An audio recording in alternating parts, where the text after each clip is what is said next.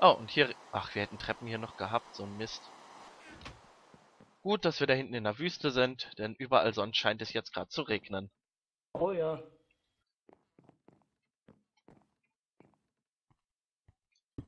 Das ist auch der Grund, warum ich Wüsten- und Schneebiome eigentlich immer bevorzuge. Die sind ruhig. Mal gucken, ob da noch ein paar Fackeln drin sind. Ansonsten würde ich mal ein paar machen. Hab ja Kohle von Twilly bekommen. Hm, Sieht nicht so aus. Na, dann crafte ich mir schnell welche. Das sollte reichen. Dann können wir die Leitern holen, die wir noch über hatten. Da. Ja, also schlecht aussehen tut der Turm nicht jetzt vom Gerüst her. Von unten wahrscheinlich, weil er da so halb in der Luft hängt. Aber ich habe schon einige Ideen im Kopf, wie wir das nächste Mal lösen können.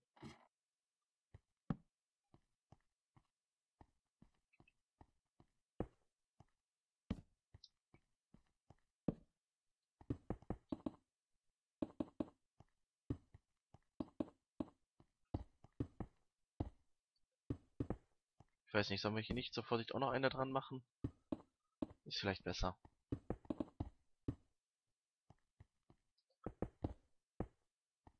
So.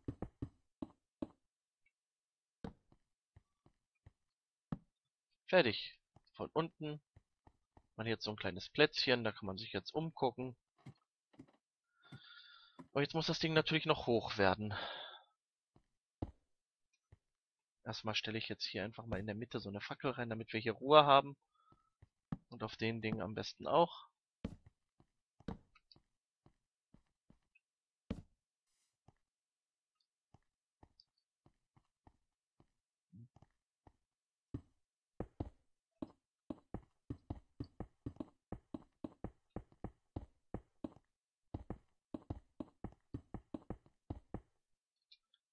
So.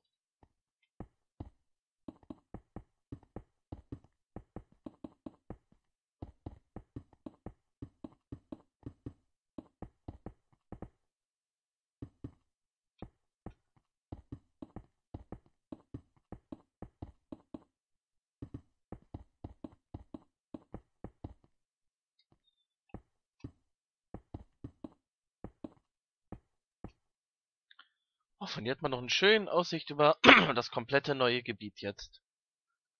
Schön. Ah, ich werde ja ein Video sehen. Oh ja.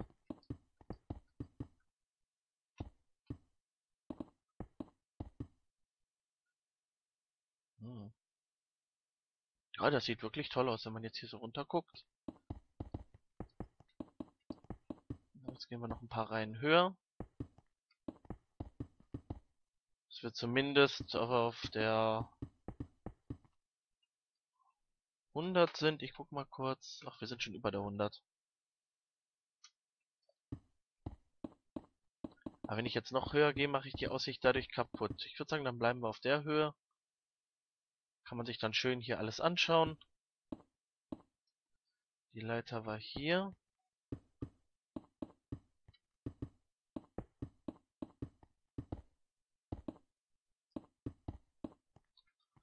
Jetzt wie immer noch das eine Reihe vorsetzen der Zinn, damit es nicht ganz so geradlinig aussieht.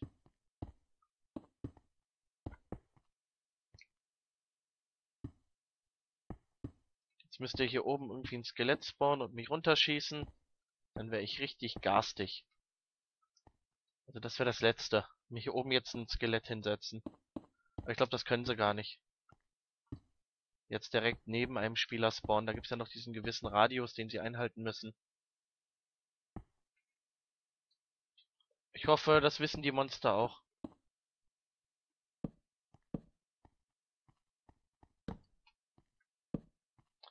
Die wissen das? Ah. Ich hoffe es.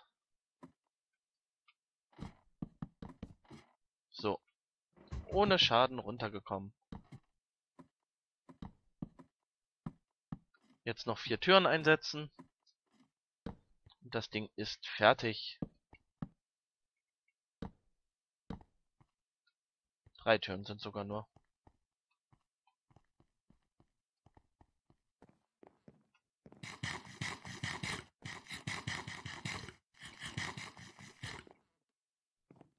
Also von hier sieht es nicht schlecht aus, nur von unten mache ich mir halt Sorgen.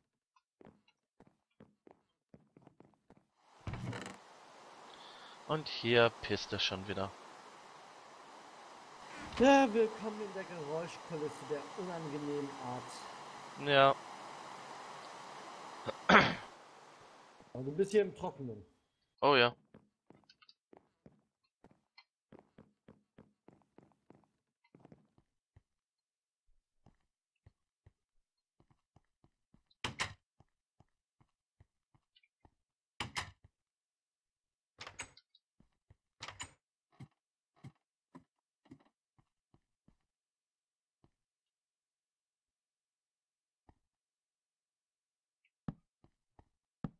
So.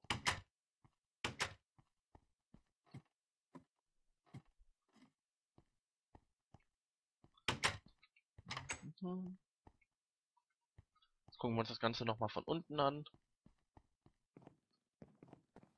Ob das wirklich so grässlich aussieht, wie ich es mir vorstelle.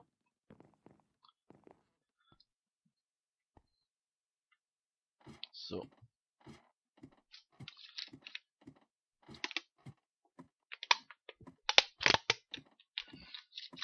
Und Flasche leer.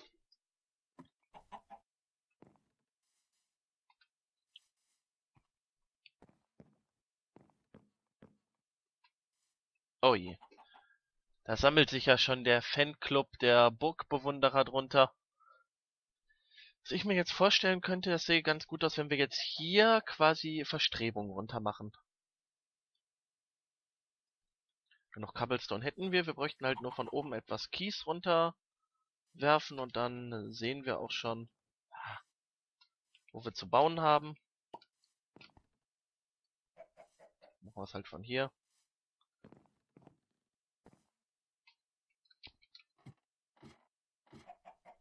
Und was machst du gerade? Noch ein bisschen Farmen Äh, oder? Nee, nee, ich, ähm, in Minecraft verstecke ich mich gerade in meinem Haus und so lese ich gerade ein bisschen was.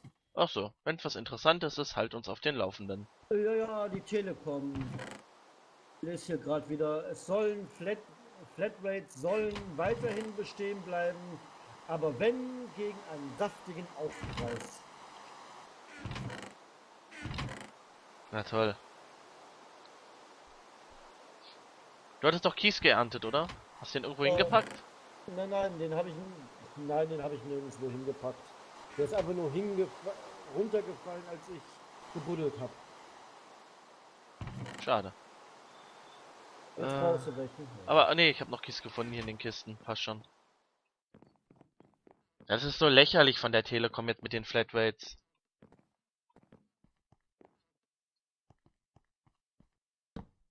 Und was soll denn das? Wollen die uns jetzt in die Steinzeit zurückbefördern?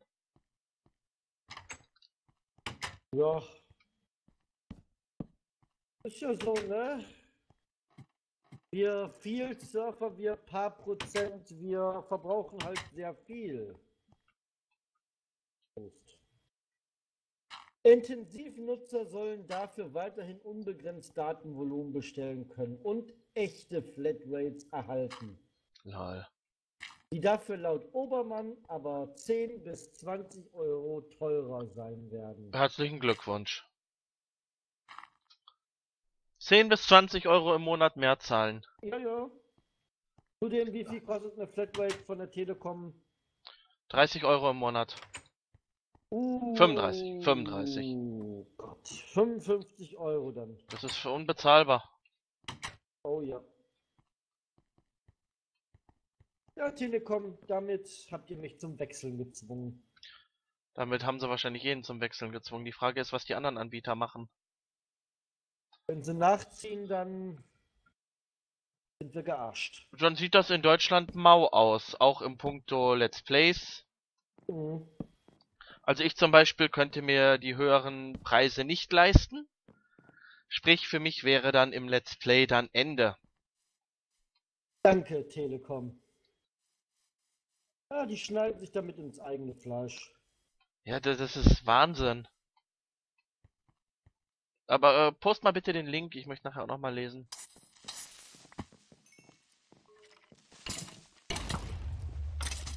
Was hast du denn jetzt schon wieder hochgehen lassen? Ah, das war noch ein Creeper. Ich habe ihn aber abgefangen. Ach so, wenn es weiter nichts ist. Warum spawnt hier so viel? Ist das wirklich? Wir- schön. Ah, danke. An wen hast du jetzt geschickt? An. Äh, Aufnahme. Okay, ja. Da. Ah. Stimmt, ich bin ja hier in der falschen Ra Raum. Ist okay. Kann ich ja gleich auf den anderen PC nach dem Let's Play in Ruhe lesen.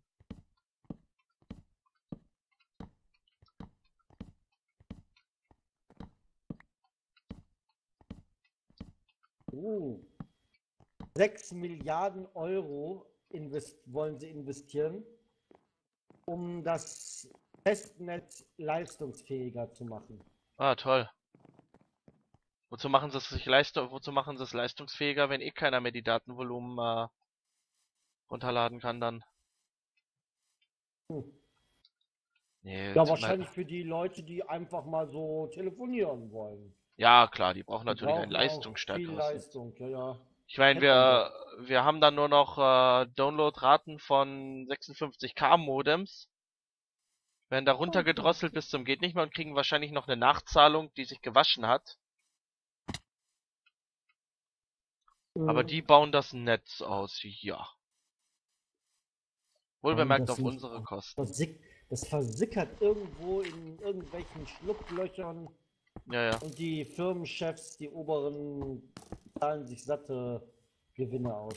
Oh ja. Ah, 10 bis 20 Euro mehr für das, was wir jetzt nutzen. Haben die schon mal darüber nachgedacht, dass der Strompreis auch steigt? Wer soll das denn alles zahlen? Das ist denen doch egal. Ja. Die werden sich umgucken. Wenn ein Immer- Anbieter nicht, wenn ein Anbieter nicht mitzieht, hat er gewonnen. Mhm. Aber mal gucken, ob die Verbraucherzentrale ja mit ihrer Kla Abmahnung oder Klage sogar durchkommen wird. Ja, ja. Ich hoffe es. Ich auch. Also die Verbraucherzentrale ist eine der wenigen Organisationen in unserem Land, denen ich vertraue. Ja, nur ich vertraue der deutschen Gerichtbar äh, Gerichtsbarkeit nicht mehr. Ja, Hm. aber naja, vielleicht wenn ein großer, wenn eine große In Institution das macht, vielleicht hilft es dann den Richtern Ja, ja. etwas weiter. Ich meine, das sollte, das sollte ja keine Belange haben, da Gleichheit, Freiheit für alle, bla bla bla, aber Ja, ja. naja, wir kennen das ja. Jo, jo. Vor allem, äh, Internet ist inzwischen ein Grundbedürfnis und das derart zu beschneiden, äh, würde wahrscheinlich schon gegen unsere Grundrechte verstoßen. Mhm. Medienfreiheit. Besonders wo die Telekom ja immer noch, äh, so zwar nicht mehr ganz, aber immer noch ein staatlicher Betrieb ist. Ja. Das hätten sowieso lassen sollen. Diese ganze Privatisierung. Post, Telekom, Strom. Seitdem ist alles nur noch komplizierter und teurer geworden. Strom musst du jedes Jahr wechseln, damit du einen guten Preis hast. Äh, Telefon baut die Telekom nur Scheiße. Und von der Post reden wir erst gar nicht. Was die für eine Mitarbeiterpolitik hat, äh, das geht ja auf keine Kuhhaut mehr. Habe ich hier keine runtergeworfen? Oh, Dann musst du gleich nochmal machen. Ich meine, das ist ja. Blizzard. Blizzard will keine simple Portierung von Diablo 3. Wollen Sondern? das Action-Rollenspiel komplett erneuern. Oh für, ja. die Plays, für die PS3. Das ist, PS4. das ist sinnvoll, weil es auf dem PC ja gefloppt ist.